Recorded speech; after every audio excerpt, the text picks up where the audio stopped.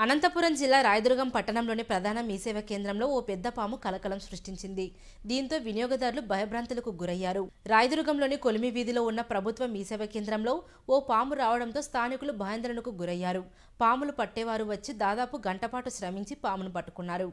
అనంతరం ఆ పామును కొండ ప్రాంతాల్లో సురక్షితంగా వదిలిపెట్టారు. మీసేవ కేంద్రం చుట్టూ అపరిశుభ్రత వాతావరణం పిచ్చి మొక్కలు పెరగడమే పాములు విషపురుగులు రావడానికి కారణమని పలువురు పేర్కొంటున్నారు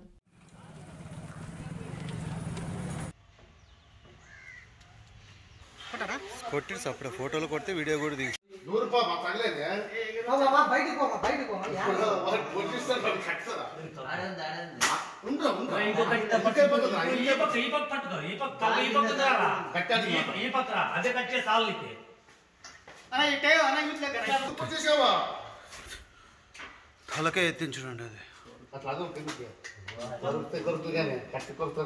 అట్టినే కదా ఈ టైర్ ఉంది నాకు. నువ్వు తలక కూడా చెప్తానా?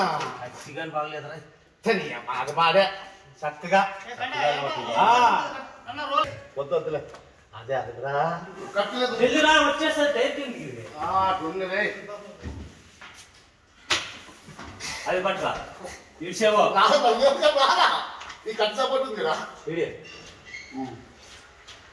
సపోర్ట్ ఉంది రాడా ఏ ఆడని ఇడిచిడప్ప స్వామి.